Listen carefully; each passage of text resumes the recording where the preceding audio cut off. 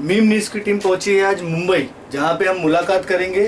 कुल हिंद मजलिस इत्तेहादुल मुस्लिमीन की शेरनी मानी जाने वाली एक कार्यकर्ता आयशा शेख से, जो खुद प्रोफेशनली एक टीचर भी है और इनसे हम ये जानना चाहेंगे कि माइनॉरिटी के लिए आज की डेट में एजुकेशन एक बहुत बड़ा मुद्दा है।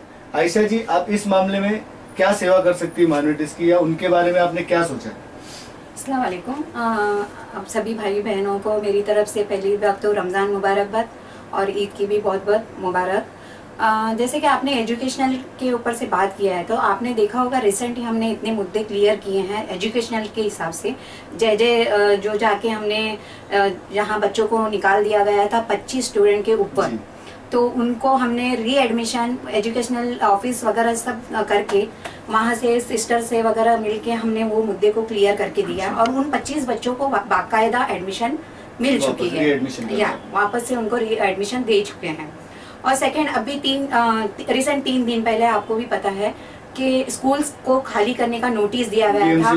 या बीएमसी द्वारा नोटिस दिया गया था कि जल्दी से जल्द दो दिन में suddenly ताबड़तोड़ खाली सडनली खाली कर उस बवाल पे हम और हमारे जो भाईकल के डिस्ट्रिक्ट प्रेसिडेंट सादिक जारी साहब है उनके साथ हम हमारी लेडीज़ टीम को सभी मिलके हम गए थे।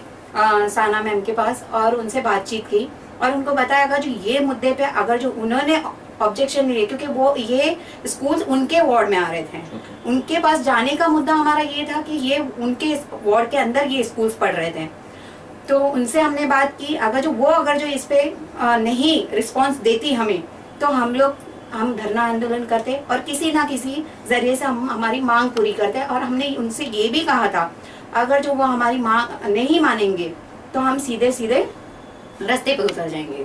तो आगे इस बारे में मतलब क्या हुआ? मुझे बीएमसी ने क्या आप लोगों को क्या कार्रवाई रोक दी है? या आप लोगों का एक्शन जो है वो किस कहाँ तक पहुँचा देखो हमारे एक्शन का रिएक्शन तो हुआ है। ओके। और इस काम को उन्होंने सडनली फटाफट पेपर वर्क हम हमारे सामने उन्होंने पेपर वर्क ला के दिखाया जो ऑफिसर्स थे उनको भी सामने हमारे बुलाया और हमारे से बातचीत करवाई और उनको इंटीमेशन भी दिया है कि लेकिन स्कूल खाली नहीं हुई। नहीं जो चीज़ सोलह की डेट थी स्कूल खाली करने की थी वो नहीं हुई। अलहमदुल्ला तो इसका मतलब ये है कि आप लोगों का काम सक्सेस हुआ है। तो अब मीम न्यूज़ की टीम आपसे ये जानना चाहेगी कि आने वाले 2017 बीएमसी इलेक्शन पे आप लोगों की क्या तैयारी है? आने वाले 2017 की इलेक्शन के लिए तैयारी तो अल्हम्दुलिल्लाह बहुत अच्छे से चल रही है। जहाँ तक आप देखे देखोगे तो अभी बॉडी भी डिक्लेयर हो गई है। तो ऐसा ऐसा भी ये रमज़ान का वक्त है इसलिए काम करने का तो थोड़ा स्टॉप है।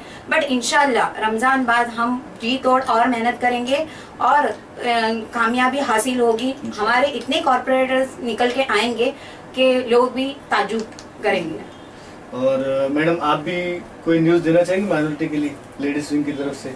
लेडीज़ विंग की तरफ़ से मैं इतना ही कहना चाहूँगी कि जैसे कि रमज़ान का महीना चल रहा है, सबसे पहले तो सारे लेडीज़ टीम की तरफ़ से सभी लोगों को रमज़ान की बहुत बहुत मुबारक और आने वाली ईद के लिए भी।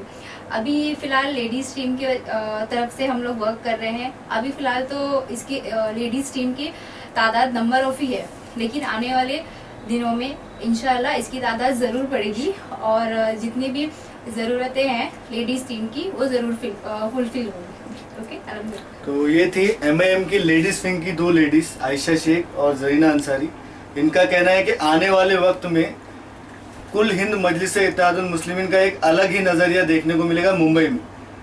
तो देखते हैं आगे क्या होता है। कैमरामैन कासिम अली के साथ शाहिद सैयद, थाने मुंबई।